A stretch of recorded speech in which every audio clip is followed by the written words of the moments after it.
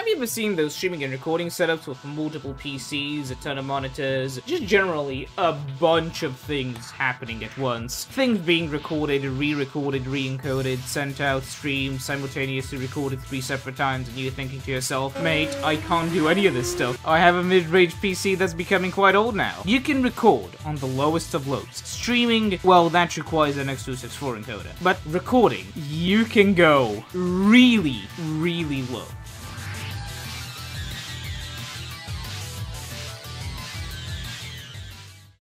The following footage that you're seeing is actually being recorded off of a Core 2 Duo E6400 that's two cores running at 2.1 GHz with a HD 2600 Pro that is roughly almost twice as slow as the GT 430. The question is, how are we getting decent footage out of it? Well, here's the secret. I'm actually using MPEG-1 video. We could go lower with MJPEG, and that gives us maybe like a 5% performance improvement. However, the compression is absolutely awful and it will result in gargantuan file sizes for any high definition video. X264's compression is 4 times as good as MPEG-1's. That means that on average your file size will be about 4 times the size that it should be, which means that your bitrate should be 4 times the size that it should be on X264.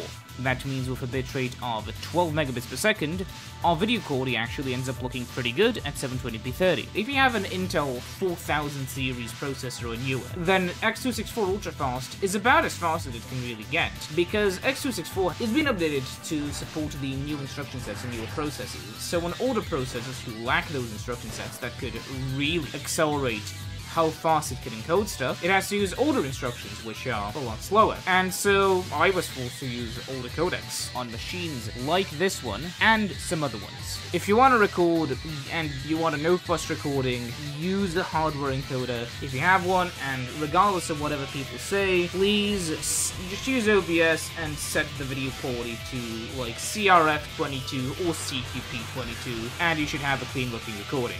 If you're having performance issues with the hardware encoder, increase the hardware encoder speed. If you're having issues with the X264 encoder, which you should only really use if you know what you're doing or don't have a hardware encoder, then boost it up to like ultra fast or whatever if you need to. It's gonna have some minor quality loss, but it's mostly a compression thing.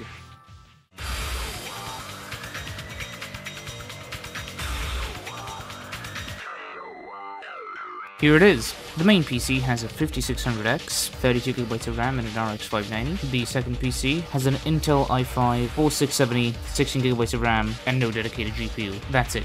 I have a PS4 up there in the corner. You saw it once in that drive clip video. The kind of recording that I can do with it is 1080p 60 on the faster preset CQP22 or the balanced preset on the AMD X264 encoder what if you have an Intel Core i5 or 670? Surprisingly enough, another processor that I have. Now, you could, like, I would use if I was coming into situations where my CPU was being fully used, I would switch to a hardware encoder, and uh, on the Intel one, you can use it, However, on the Intel PC that I have, I wanted to test out X264 because my hardware encoder runs up with the iGPU, and that PC is meant to be a server PC, which lacks a proper, you know, it doesn't have a proper graphics card. It has a terrible one that's integrated into the chip, and while the encoder is decent, the actual performance is not. So, using the actual hardware encoder will lower the performance of a GPU by a very, very slight amount. However, you're only gonna notice that if you're running an iGPU, and even then, in this situation, I use hardware, and I could hit roughly up to 45 to 50% CPU usage with X264 ultra fast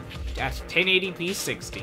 However, obviously, I suggest if you're playing some stuff and you want to use the software encoder, just do 720p 60 or 1080p 30. You're saving yourself a lot of CPU cycles, and uh, you're probably gonna lag out your PC anyways if you try to not do that. So yeah. However, let's say you, you have a PC that is the lowest of the low.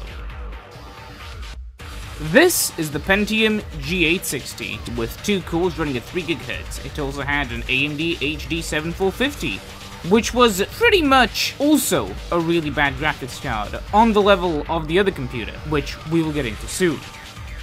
The recording was captured in 720p at 60 FPS, and the quality was decent with the CPU being stressed out to 30%.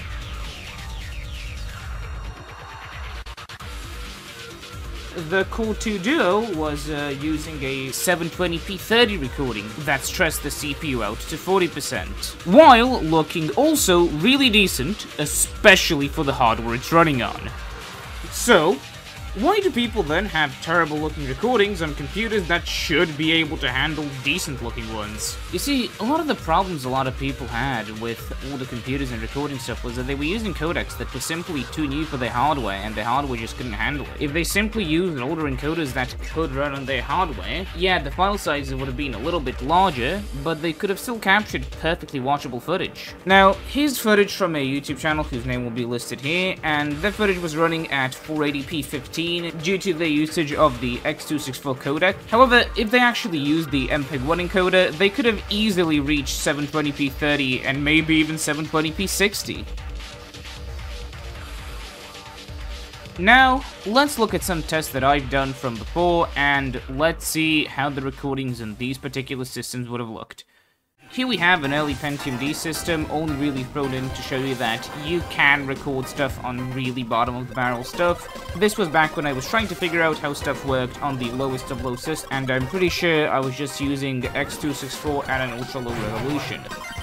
This is a test that I've done on my mobile phone of a PlayStation Portable game because I wanted to see how it could look.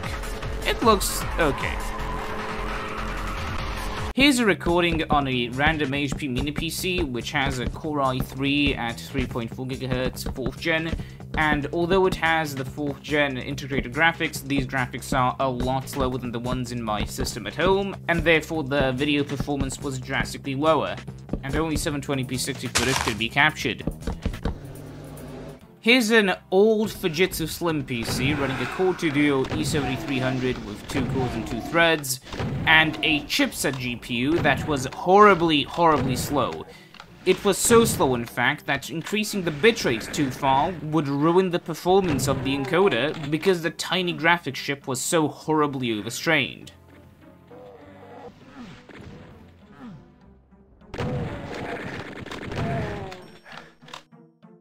Some more footage from the Sandy Bridge Pentium system, just so we can see how it could look in its full glory, since this footage actually came out really well, even though the bitrate was set too low.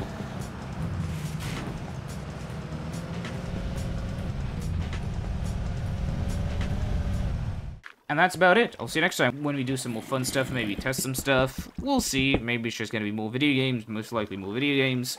See you then. Goodbye.